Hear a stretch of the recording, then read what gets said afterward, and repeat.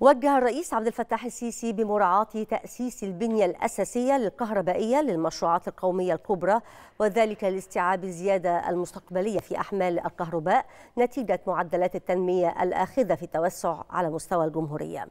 جاء ذلك خلال اجتماعه مع رئيس مجلس الوزراء مصطفى مدبولي ووزير الكهرباء والطاقة المتجددة محمد شاكر لمتابعة مستجدات الموقف التنفيذي للمشروعات الاستراتيجية لوزارة الكهرباء على مستوى الجمهورية.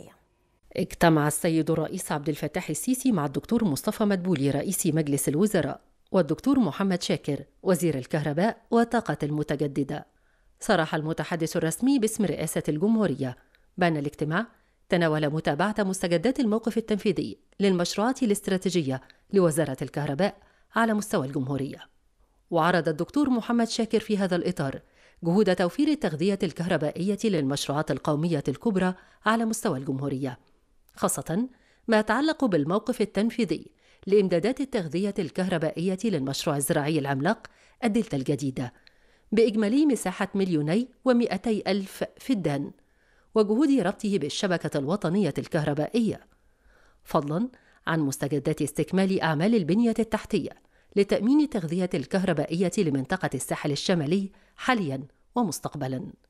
بالإضافة إلى متابعة أعمال التغذية الكهربائية للمشروع القومي لتنمية سيناء على نحو يساهم في تكوين مجتمعات سكانية وعمرانية متكاملة الأركان في المنطقة وقد وجه السيد الرئيس بمراعاة تأسيس البنية الأساسية الكهربائية للمشروعات القومية الكبرى لاستيعاب الزيادة المستقبلية في الأحمال الكهربائية نتيجة معدلات التنمية الآخذة في التوسع على مستوى الجمهورية. أضاف المتحدث الرسمي أن السيد وزير الكهرباء استعرض كذلك مستجدات التعاون مع الخبرات العالمية العريقة في إطار الاستراتيجية الوطنية لتوليد طاقة الهيدروجين الأخضر باستخدام الطاقة المتجددة. حيث وجه السيد الرئيس بالاستمرار في الخطط الوطنية الخاصة بتعزيز مكون الطاقة المتجددة وتعظيم قيمتها، وذلك لتنويع مصادر إمدادات الطاقة التي تعتمد عليها عملية التنمية في مصر. كما تم عرض مستجدات مشروع الربط الكهربائي الثلاثي مع كل من قبرص واليونان، فضلاً عن الربط الثلاثي مع العراق والأردن، وكذا الربط مع كل من المملكة العربية السعودية وليبيا.